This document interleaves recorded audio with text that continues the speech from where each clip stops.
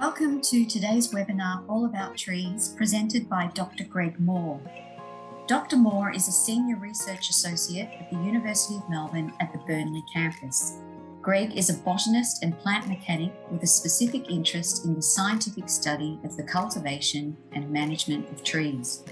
Greg's passion for trees is centered around understanding how trees cope with their environment and appreciating the benefits trees provide in urban spaces. We are so very lucky to have him available to share his expertise with us today.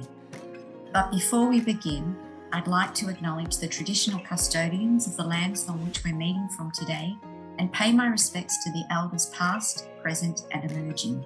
I also extend my respect to any Aboriginal and Torres Strait Islanders who are with us today. I'll now hand you across to Dr. Moore. Thanks, Greg.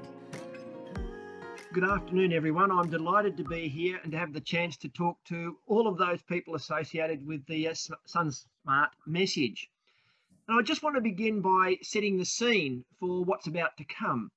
Uh, many of us would regard that uh, our cities and towns are fairly green and leafy, but in fact, that's not the case. The tree cover of most cities and towns is by no means as dense as people think or perhaps wish. Uh, for example, London calls itself uh, a forest, a city in a forest, uh, and its canopy cover is about 25%. Uh, over half of the local government agencies, agencies in Sydney, Melbourne, Adelaide, and Perth have canopy covers well under 20%. And the truth of the matter is, we're losing that canopy cover at a rate of about 1 to 1.5% per annum. So that's the scene. That's the situation we, we're in at the present time. It's not just about um, adding more canopy cover, it's about managing what we've got and retaining it because that canopy cover is going to be really important in the future, particularly as climate changes. There are many, many benefits from the presence of um, green space and tree green space in particular. And the information on these benefits so much that someone like me, who 15 years ago could probably uh, talk about most of the benefits um, in a list of about a dozen or so, would find it very difficult to keep up to date today. Uh, there are just so many publications, so many scientific papers, and many of them are from other disciplines. Um, the obvious ones, of course, are recreation, uh, planning, and so on. But the number of uh, publications in the medical journals that relate to the value of trees is really quite extraordinary. And uh, I certainly admit to not being able to keep up with that aspect of things any longer. Uh, while we're talking about trees and um, in, in cities and towns in particular, um, I know that some of you will be looking for some take-home messages from this, things that you can sort of store in your uh, in your brain uh, and use conveniently with others.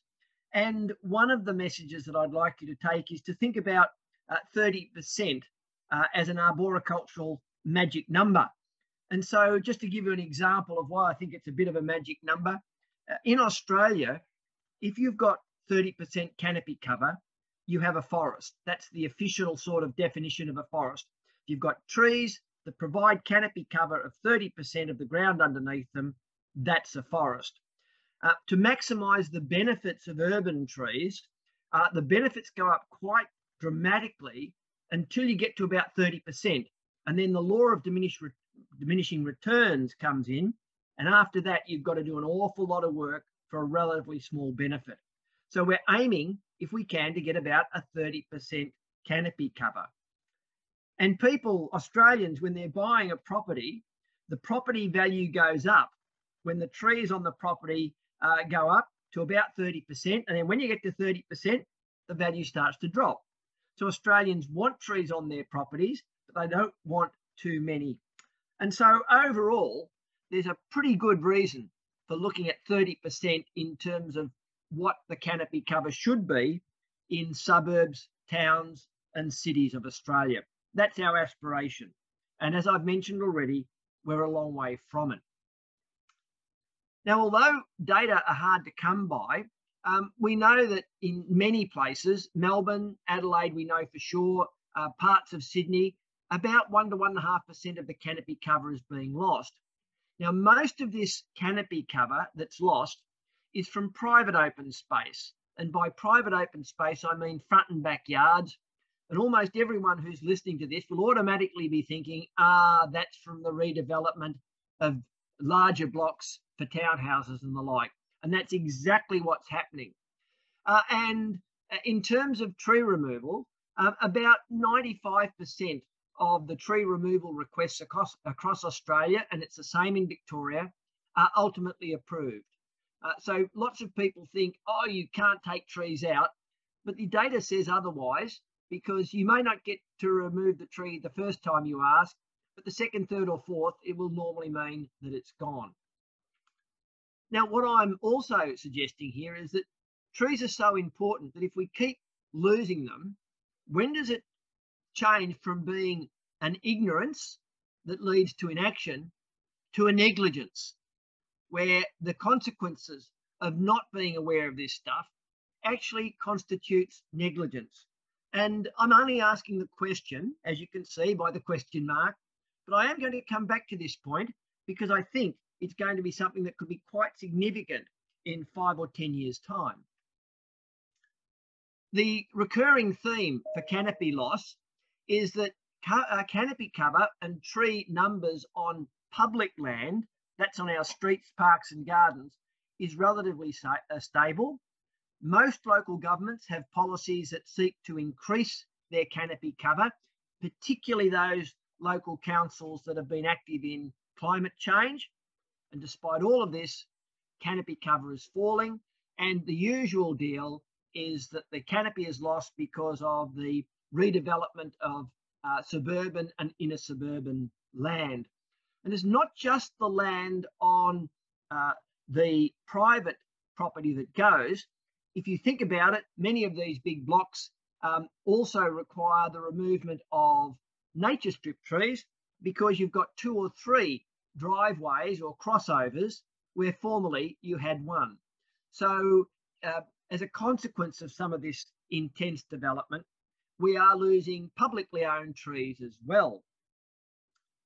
Now, all of this is set against the backdrop of climate change, and you all know about this the uh, warmer, hotter summers, the more frequent storms, the, the high fire danger, change weather patterns, um, much stronger winds.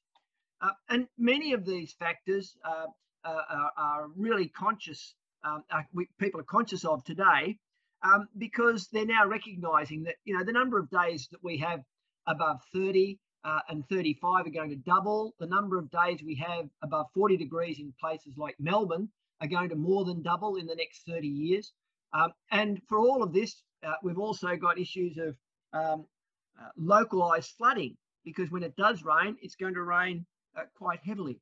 So we're looking at a significant change in Australian climates.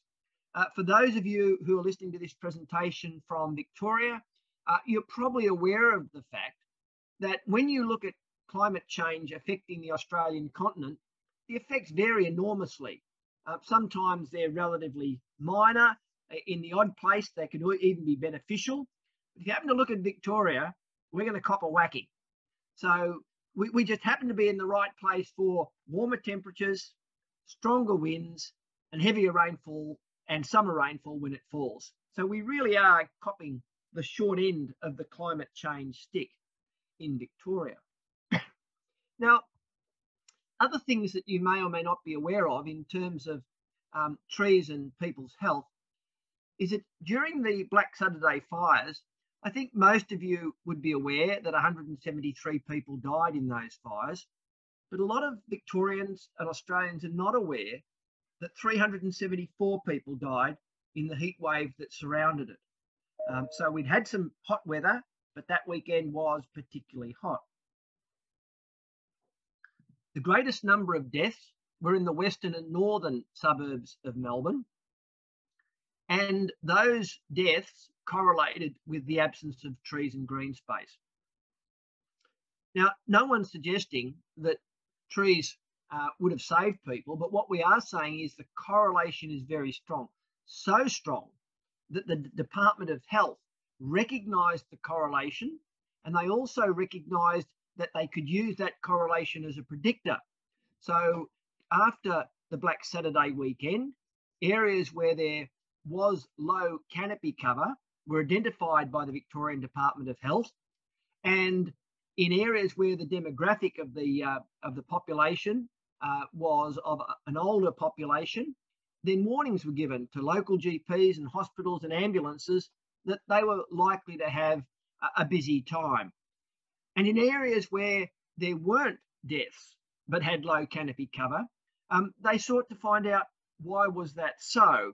And in most cases, low canopy cover uh, and no deaths was associated with a younger demographic, in other words, new developments. So a very strong correlation, and uh, we need to learn from that. In, uh, in terms of human health, at the TreeNet Symposium in Adelaide in 2016, um, the first three speakers weren't tree people like me. Um, they were uh, from the medical profession or from um, the field of epidemiology. And one of the speakers made the observation that if Australia had more treed green space, uh, we would save about uh, $800 million a year in terms of type 2 diabetes. And they also pointed out that uh, if we had more treed green space, we would save 4.2 billion uh, per annum in terms of blood pressure and heart um, related illnesses and diseases. Now, this was a, a rather nice figure for me. That was my take home message. You add them up and you've got 5 billion. And I thought, I can remember that.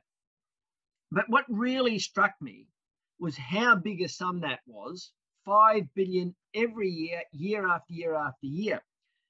And the speakers said, oh, by the way, this is not rocket science. And what they said was if you've got treed green space, people exercise.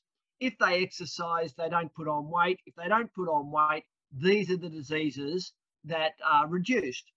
So if you think about it, it's no wonder that the Department of Health in the states and the federal government are interested in having green and leafy suburbs.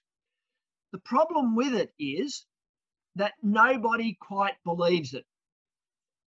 The ordinary person, the accountant, the local politician, the engineering profession can't quite believe that you can get this level of benefit at this level of uh, money from simply putting trees. And that's the problem at the moment. We, we have a gap between the, the research and the people who manage our environments. Uh, and just to put all of this into a nice nutshell, um, back in 2010, one of the Victorian Department of Health's policy office, officers, by the name of Deadman, by the way, uh, not so good for a Department of Health policy officer, uh, but a wonderful piece of work that he did. And he, he simply said, look, if in Victoria we could get 1 to 2% more people um, actively or passively recreating, we would save $274 million per year off the Victorian health bill. And so the question was asked, well, how, you know, you many of you listening will be very used to the fact that in the social sciences, changing human behavior is not easy. So one and one to two percent uh, sounds like a small number, but actually getting that change is, is not easy. So they asked Deakin University to do some work on what would encourage people who didn't exercise to exercise. And the answer came back from Deakin University provide accessible, treed green space, and particularly shade in summer. If you did that, people will exercise. Uh, 274 million, by the way, is well over double what all the councils in Victoria spend on trees in a year. So it, it, it, would be a really good investment, not just for the Department of Health, but for everybody if we could pull this all together. So now I can ask you a little more specifically. Uh, if we know of the role of trees and canopy cover in health, uh, and people do nothing about it, if state governments allow planning laws that see canopy cover reduced, if local councils uh, can't implement proper um, sort of development procedures that sees canopy uh, cover reduced, then when does this become negligence? When does a person suffering type 2 diabetes say, well, look, you did nothing. You provided no green space and you're part of the cause of my problem. Now, I well understand the issue of individual responsibility here, but I also understand that there is a community health role. And all of you listening, given that you're from SunSmart are, are, are, or associated with it, are really interested in that community health side of things. And the same can be said for heat uh, wave related deaths. It's a worry that in most cities and towns, if you've got a heat wave coming, you can predict where the people who are going to die or end up in hospital are going to come from simply by looking for trees on the maps. That is quite scary. And if it's that simple, then you have to ask when does it cease to be negligence when you let trees, uh, tree removals take place against the public interest? The urban heat island effect is something that we've been known about for a long, long time. And for those of, not, that, of you that are not familiar with it, uh, the acronym UHI has even made it into the local papers, the Herald Sun and the Age. So it's certainly getting out there. And this is the phenomenon where cities and suburbs have so much hard infrastructure, bitumen, concrete, bricks, that they're considerably warmer, up to four or five degrees warmer than the surrounding peri-urban green space. Now, what this shows you for Melbourne is that the major impact of the urban heat island effect is on the western suburbs and the northern suburbs of Melbourne. Now, what that would normally mean in our um, state is that nothing would happen because if you think about it, uh, the north and west are not the high priority areas for most state governments. But the interesting thing is UHI has captured interest. And you ask, why is it so?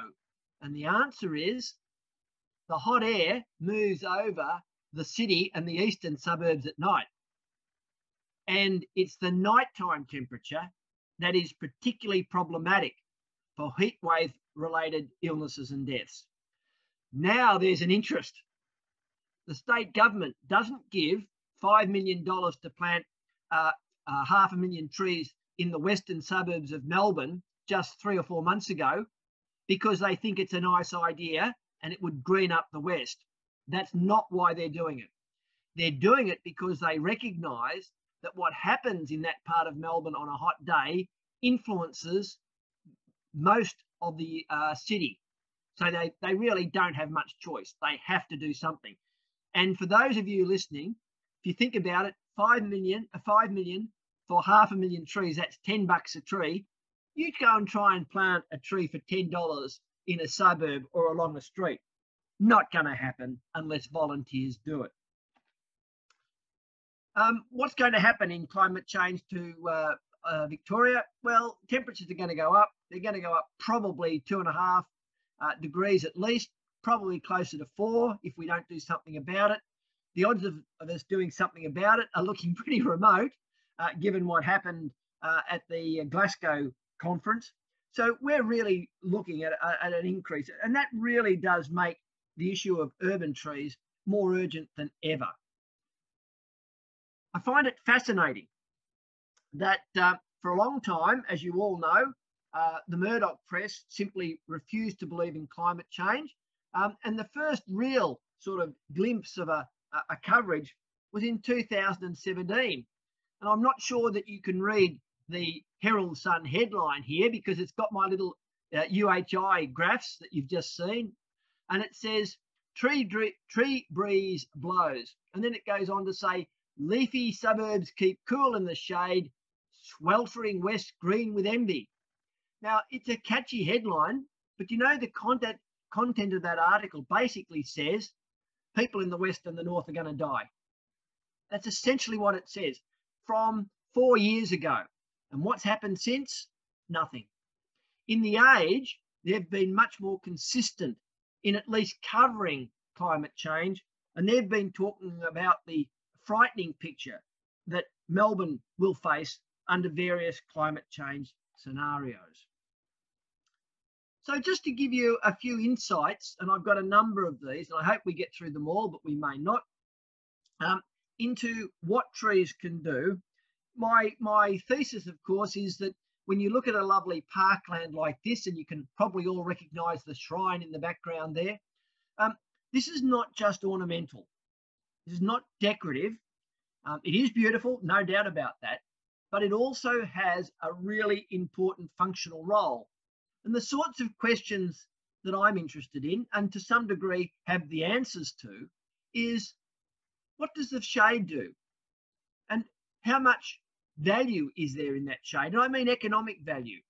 Um, when it really rains, how much water is soaked up? Um, you'll notice that there are some roads in the foreground of this slide. And I would ask, well, how much um, extra life do those bitumen roads get because of the shade from the trees? And what value is that extra life? How much does it contribute? So I'm, you're putting an actual dollar value. Now, amongst all of us, I would be the first to say I don't like putting a dollar value on trees. I think they have an intrinsic value.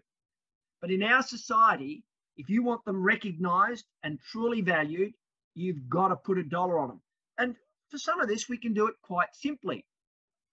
So, can we put a value on shade? Well, we know that shade often reduces roof temperatures by up to eight a degree. You can work that out. What does it do for your air conditioning? How much money do you save? We know that uh, trees reduce wind speeds in uh, storm events. They humidify the air, and that's particularly important for those with respiratory uh, and breathing difficulties. Uh, they remove pollutants, and we certainly got an insight into how important our urban trees were in relation to pollutants when all that smoke hit Melbourne in the summer of 2019-20 from the bushfires. They absorb water, they provide uh, uh, biodiversity, uh, they help offset your carbon emissions, all of those benefits. But there are other benefits. We know, for uh, example, that um, vegetation, uh, if you've got lots of green space, you have less domestic violence, you have less graffiti, people are healthier, they live longer lives, uh, they don't put the same demand on the health system, they don't use as many uh, pharmaceuticals, for example. So, a whole range of benefits that I could spend days talking about. Um, and I hear a collective sigh of relief because you know I'm not going to. So, just to give you a couple of examples of some of the medical benefits, and some of these come from a, a metadata study that my son brought to my attention um, in the United States, which was uh, the benefits of greenness on women's health in the United States. And there were thousands and thousands of data points in that study. So, just some of them. Uh, lower heat wave related deaths I've mentioned. Uh, contrary to popular belief, lower crime rates. So, a lot of people feel that if you've got trees, people will hide behind them, and that poses a risk of molestation. But in fact, the data, all of the data suggests the exact opposite. Uh, for women who go to hospital and for men who go to hospital, if it's a green and leafy place and they can see and interact with uh, trees and green space, they recover more quickly. Uh, you reduce social disadvantage, you live longer, and you are more resilient under stress. Uh, some for women, uh, higher baby birth weights is identified as a benefit from a, a, a green and leafy uh, environment. Uh, better learning outcomes, particularly for young kids. Uh, far fewer prescription uh, medicines used by residents, uh, lower rates of self harm, domestic violence, and overall higher levels of general health. Now, if there was a pill that could do all of that, everyone would be on it, no matter what it cost. And governments would put millions into it. But this is all about trees and green space and nobody is really getting full value from it. So, as it gets hotter, and we know the doubling of days above 40, uh, air conditioners are going to become increasingly important. They already are. And interestingly enough, two medium sized trees eight to 10 metres tall, placed to the north or the northwest of your home, reduces the temperature inside. You don't use your air conditioner as much, and it will save you about two to three hundred dollars per year. Who says so? I do. I did this work um, in in in uh, uh, 2013, and you might be interested to know that the ABC fact check group went and checked to find out whether I'd sort of exaggerated anything or whether there was anything sort of um, wondrous about these data. They came back and said, no, it looks pretty good. It's a bit conservative. You're probably saving more. So that's a lot of money if you think about it, just from two medium sized trees. And as uh, uh, power prices, uh, as fuel prices go up, you'll actually save more. So you can actually put a dollar value on those two trees. Medium sized trees, by the way, eight to 10 meters. They're not very big. Um, this is another one that I thought uh, the SunSmart people might be really interested in. Uh, and this was work that we did immediately after Black Saturday when a whole lot of trees were removed from school grounds. Some were removed uh, because of potential fire risk. Now, quite often, there was no fire risk. Uh, I saw trees that were removed in uh, paved courtyards. I saw trees that were removed in uh, green recreation fields that were never going to catch fire. Uh, and what we were able to do is these trees were removed, and some of you may have been associated with schools where this happened. It was done in the September after Black Saturday in 2009. The state government funded the removal of the trees. The removals took place in the September October holidays with no warning. So people didn't know the trees were about to be removed. And then later in that year, usually in October, sun came out and all of a sudden that shade was missing. And the worry about kids getting sunburned was a serious concern. So what did the schools have to do? They had to put in shade sails. And we were able to work out that for a large tree uh, that might have required, um, say, one shade sail, that tree previously had provided $500 of value per annum each year because that's what a good shade sail costs. Some trees um, required four shade sails to replace them. So they were providing $2,000 per annum. And those trees would have continued to provide that benefit at virtually no cost to anyone for decades and in some cases centuries. Now, I can be a little bit sarcastic here and say it's lucky that we don't have a, a weight problem with our kids.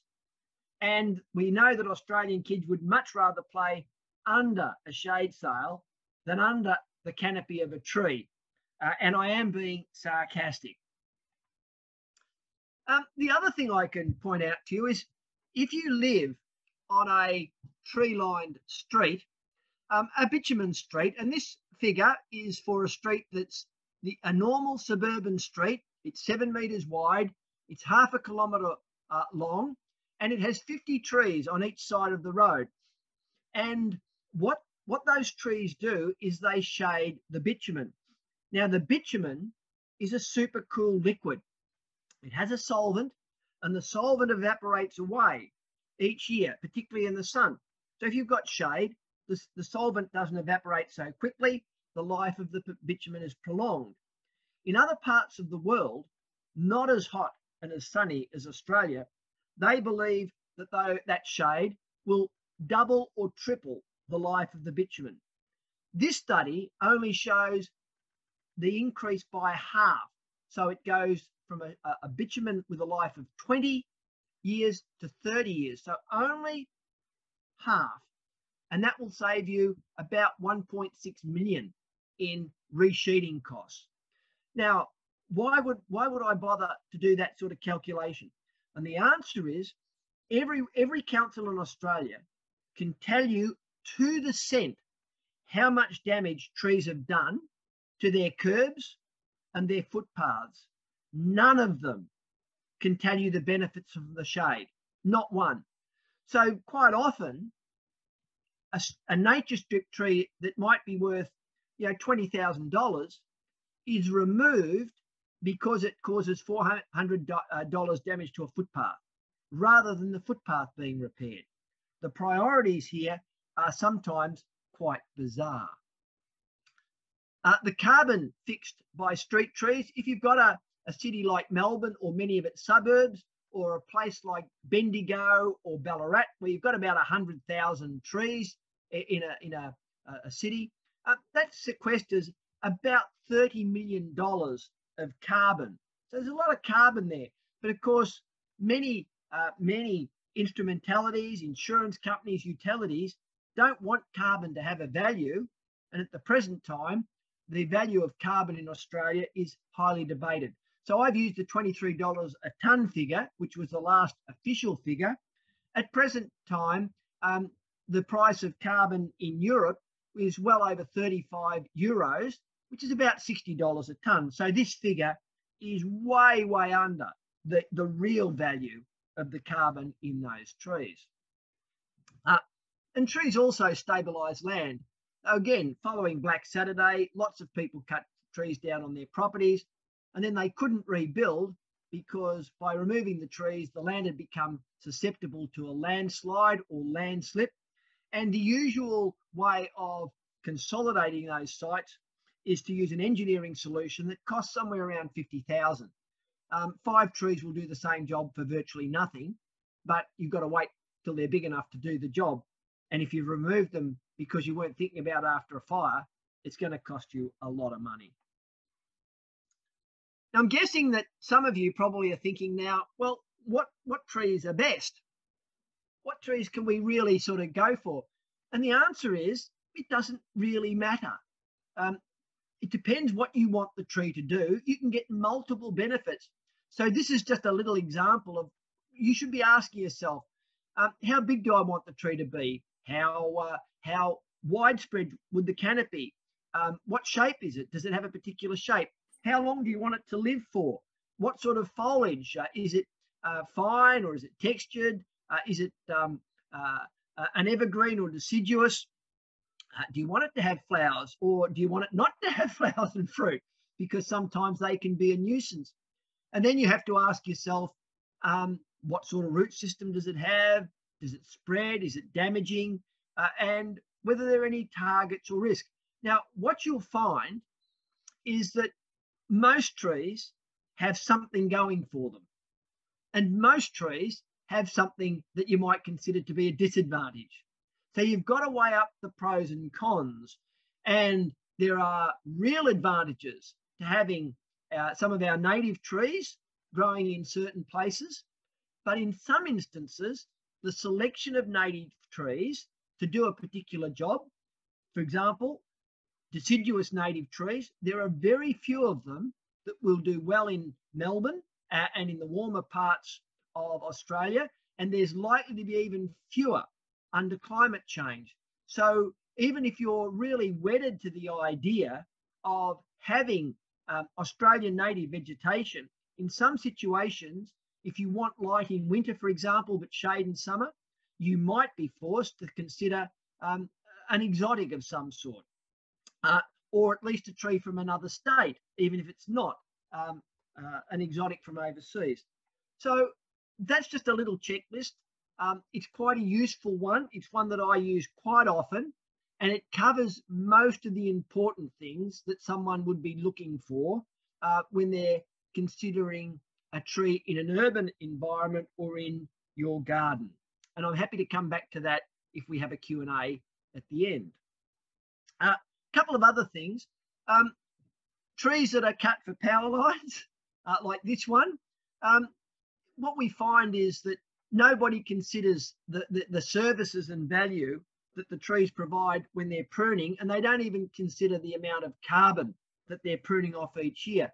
Um, I can tell you from the figures that we've done, uh, if you valued carbon, even at that low price of about 30 Australian dollars a tonne, uh, most services would be undergrounded in populous parts of Australia, that is, where you've got a population density high enough to warrant it, almost immediately.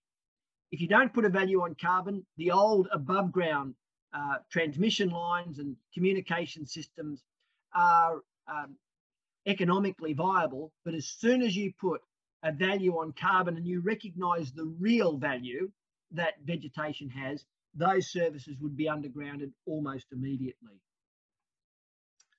Uh, flooding, we are people often say to me, oh, climate change can't happen because we've been flooded. But in fact, all the models for Victoria tell you that we are going to have localized flooding. It's a serious risk. And one of the simplest ways, and in fact, in many parts of uh, southeastern Australia, the only way of dealing with local climate flooding is to plant more trees. We can't put in bigger drainage systems. We are not wealthy enough to retrospect, uh, retro, uh, fit larger drains. And what we're going to rely on is the value of trees to soak up that water and to hold that water in their canopies to prevent local flooding. So it's a really sort of uh, significant issue. And I'm also uh, reminded because of what's happened in Victoria over the last sort of year and a half, where we've had very strong winds that have blown trees over. One of the reactions is let's remove all of the trees from around houses. Well, the problem with that is if you do that, the wind speeds can double.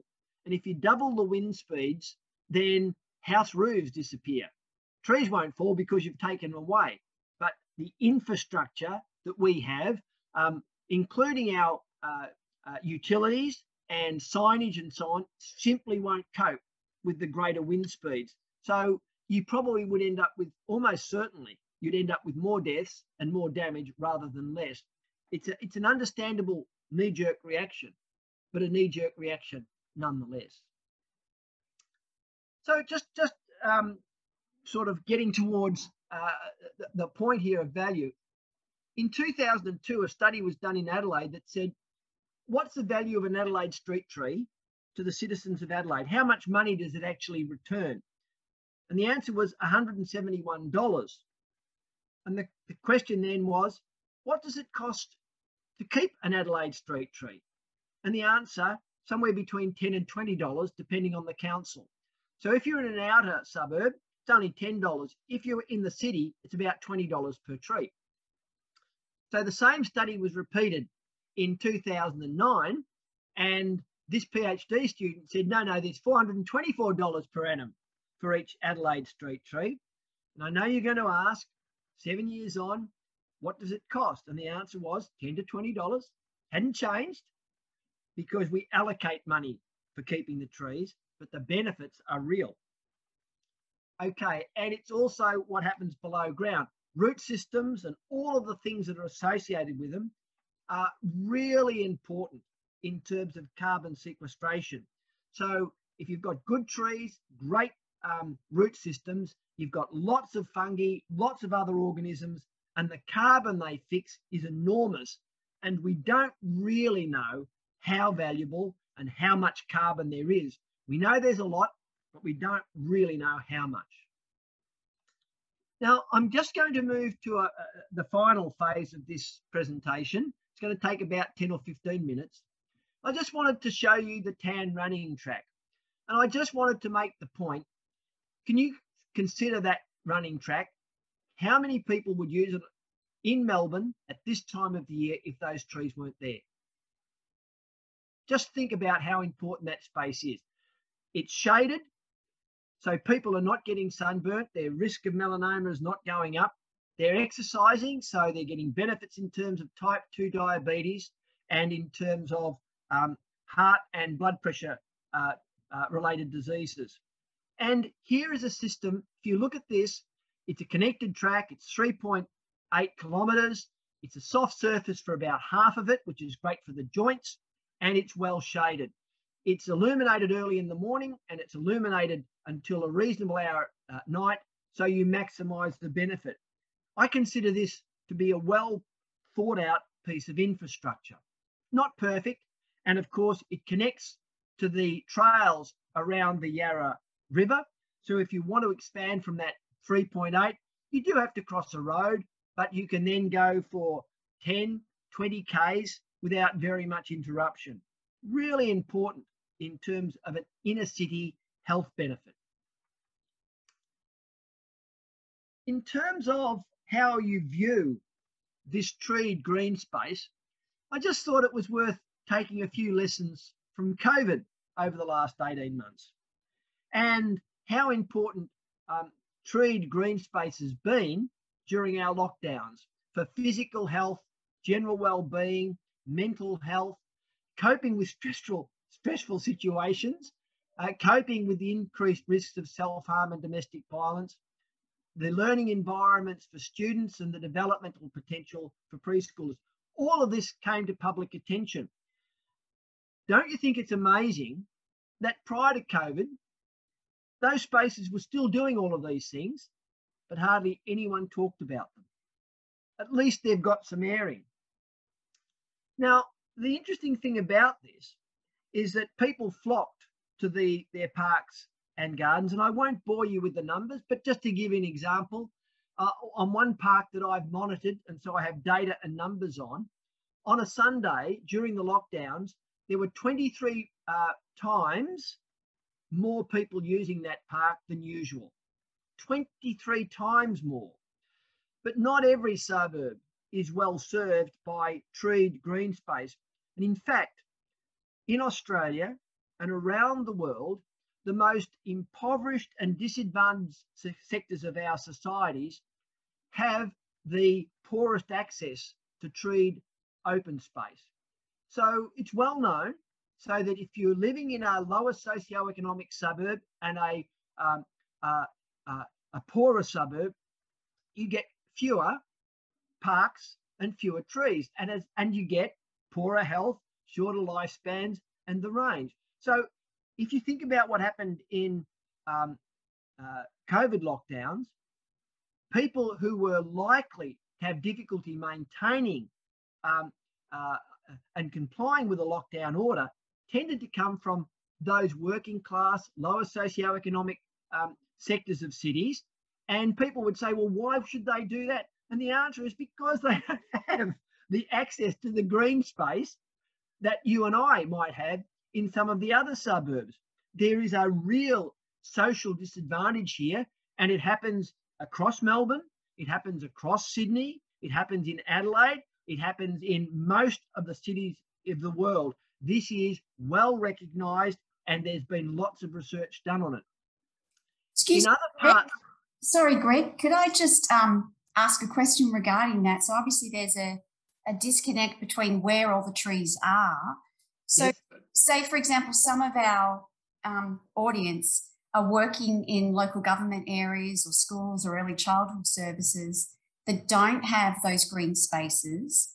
So, have you got any recommendations on how to access, you know, those spaces in an affordable way. Is that something yes. help with in the and, and, and look, your question has just come before the, the, the last dot point.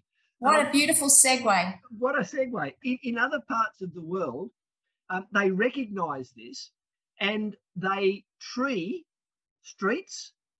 They provide private landowners with trees that conform with their planning policies. They make school, sure that their schools are green and they try and connect some of these suburbs with um, nature strip trees or median strip trees so that they can get to the green spaces. The interesting thing about this is as soon as you start putting trees into a suburb, you start to get the benefits. You don't have to wait until they're mature, which is really amazing. And this applies to even things like improving the quality of the air small trees will make a difference. But what they also find is the real estate value of those suburbs goes up. As the real estate value goes up, the uh, properties become more valuable, the areas become gentrified, and people then tend to be pushed to areas that haven't been treed. So you have to keep on the move.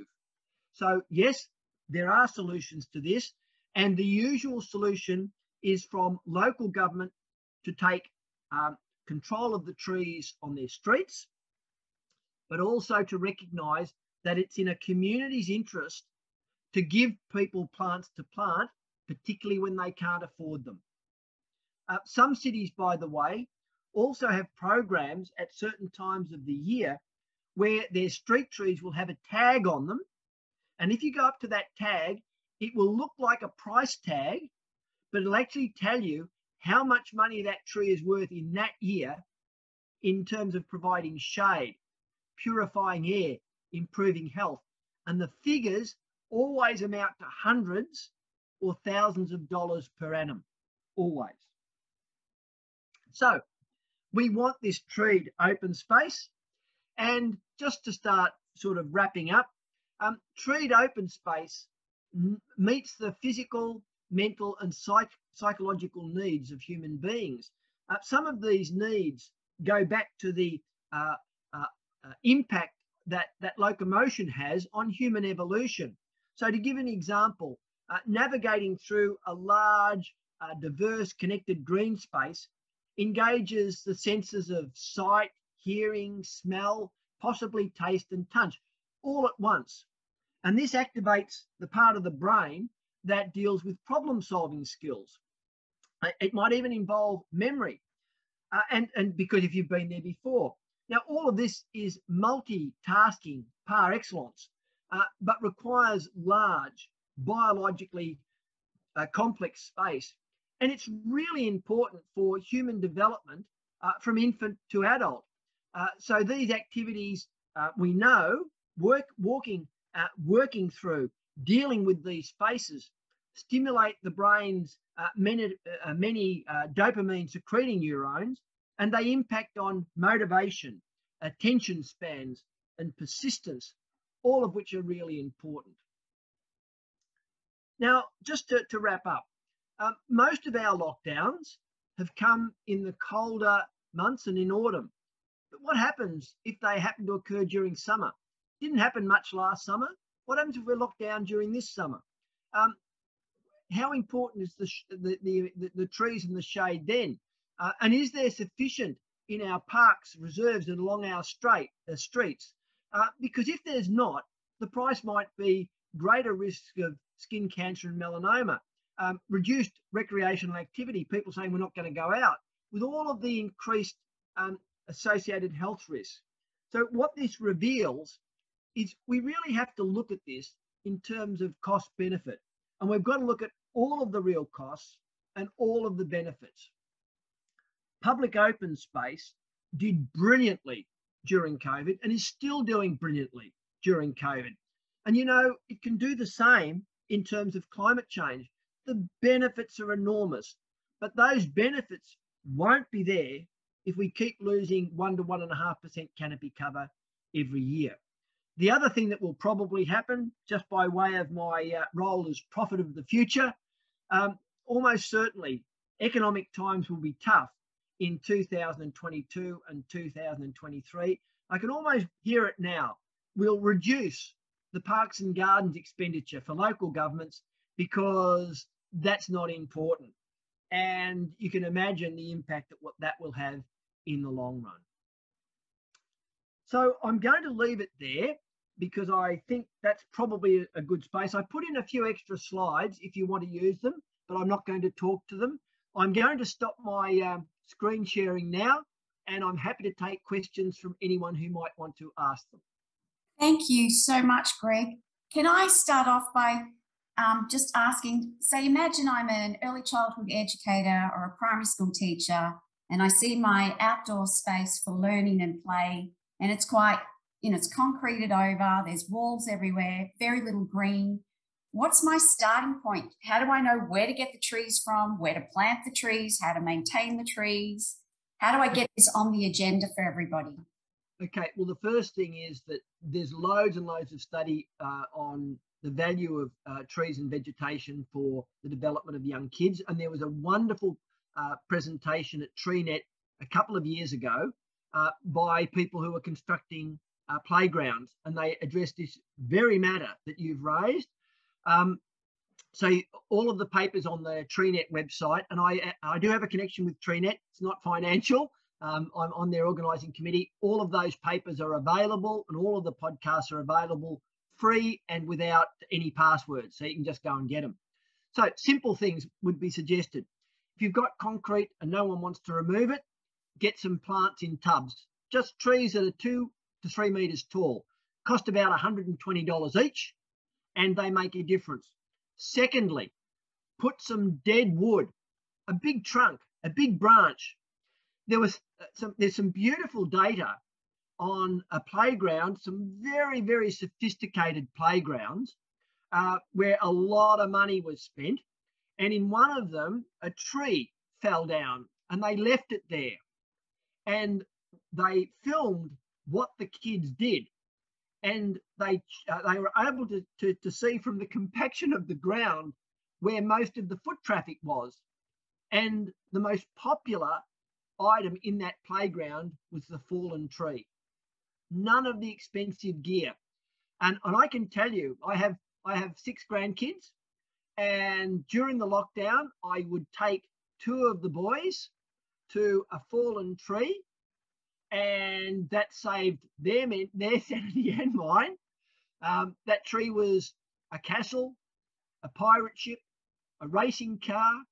At one stage, my six-year-old grandson was the captain of the pirate ship, and the three-year-old was the cook and the cook got highly offended because his meals weren't up to the standard that the captain was after.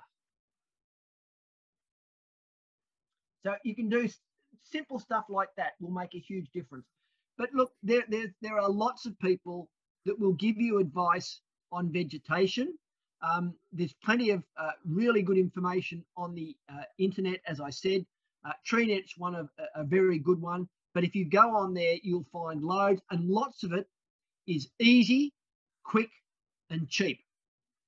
Okay, fantastic. And we've had a comment where one of the local government areas who do a, a tree planting day each year weren't able to do it during COVID. So instead forwarded the, the plants to uh, kinders to share with their families. So that was a, a nice way to help green the area. Yeah, look, many, many local governments are really quite terrific.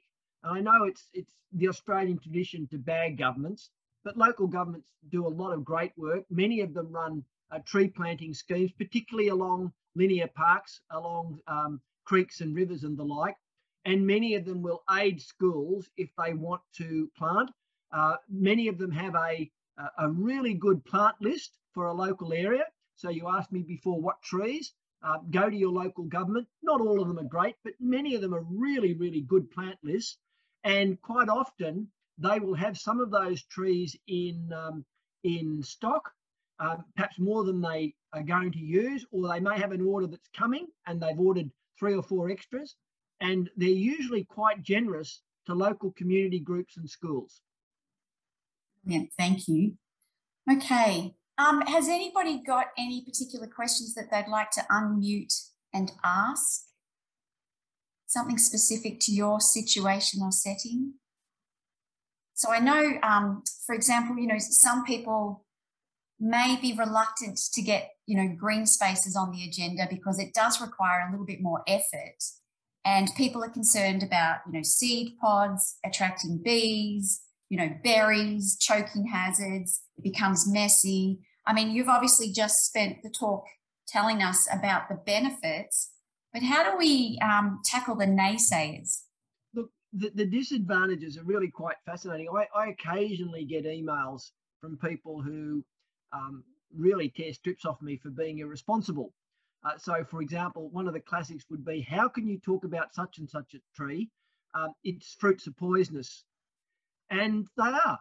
I, I, I've often said their fruits are poisonous, but the truth of the matter is there are virtually no reports of kids being poisoned by those fruits or other flower parts or other uh, tree parts because they taste bloody awful. And kids are not stupid, you know, so they're not going to sort of, most of anyway, not going to stuff a whole lot of stuff that tastes absolutely frightful. Now, of course, there are some trees that do pose a risk. Uh, and for example, and they're not they're not all trees. Some of them are uh, shrubs. The oleander, for example, shouldn't be anywhere near a kindergarten or a school. Um, uh, and so there are some other trees that can cause allergies in kids and the like. So you do have to think about that.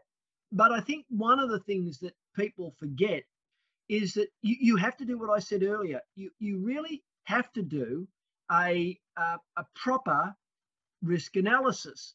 And uh, if the if the uh, dangers to kids are high, then you do have a restricted palette of trees. There's no question of that.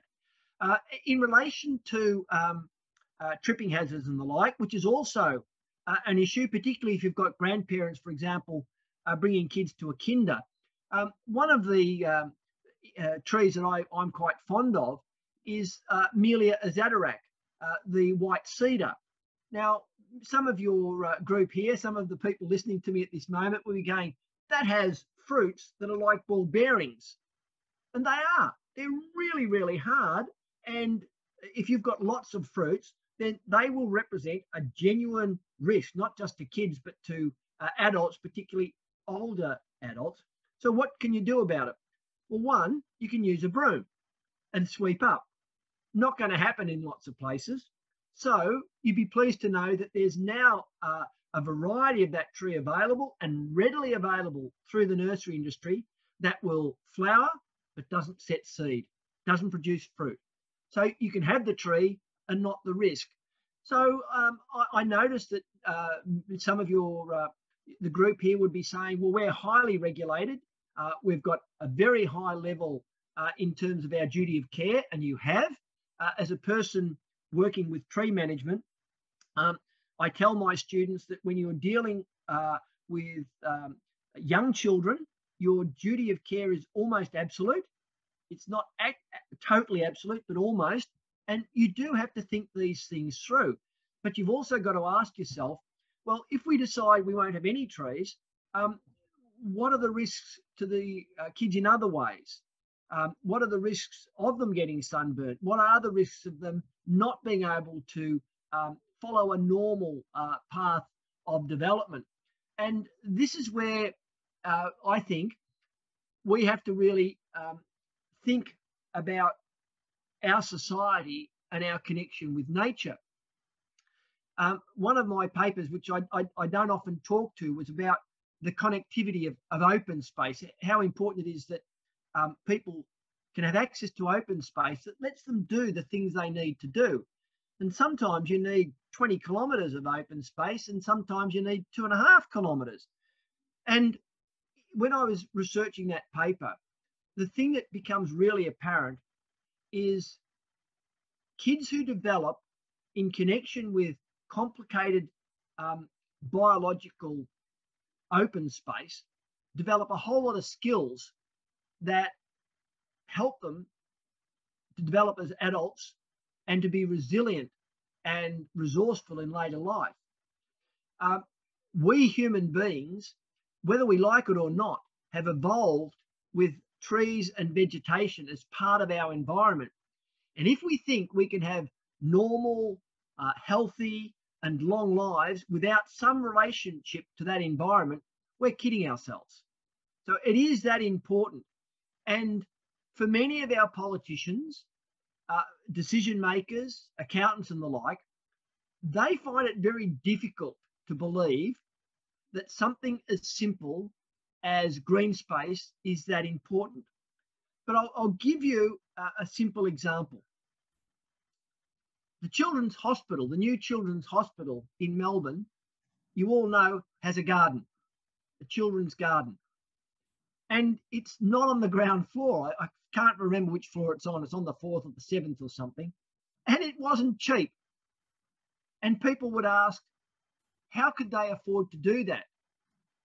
And the answer was they couldn't afford not to. The data that shows that for kids in hospital, for adults in hospital, if you have access to plants, you recover more quickly. You don't have uh, as many infections and as complications, and your ultimate outcome is superior if you're in, in contact with plants. If you can't actually contact them, but can see them, you get those benefits, but not to the same degree. If you can't see them and you can't touch them, if you have a picture of them, you get some of the benefits. Now, this is not research from tree people like me, who could be accused of gilding the lily in favour of trees. This is from the medical research. So we are connected to the ecosystems of the world, whether we like it or not. And the simple truth of the matter is, people like yourselves who have all these constraints placed on them um, in terms of children's health and well-being, ultimately, if you don't provide them with some of this green space, you're also going to cop it. That's the nature of our society. Yeah. So can I um, sort of take us back to some basics? If I really want to get started, but I'm not a green thumb, I want to get like a tree. I want to go down to Bunnings, spend some of my money to get a tree to stick in my school or early childhood. Is there some kind of really simple rule or um, top tip advice that I could get about where I should plant that, that it's potentially going to have some kind of hope of living? Okay. What sorts of things am I looking out for? Look, almost any tree will fill that bill. Um, so uh, my normal uh, sense is that for most um, uh, sites that are away from a building and where light in winter might be important, you can probably go for an evergreen. There are lots of exotic and native evergreens that will do the job. Uh, and uh, most soils will allow uh, a tree to grow well. Uh, keep the tree, you know, somewhere between four and five meters away from the building to minimize any sort of uh, root problems. And then the recipe of success is add water, but make sure you've mulched. So mulch is absolutely crucial, I think, to sustaining a tree, particularly if it's going to ultimately be in a low maintenance environment.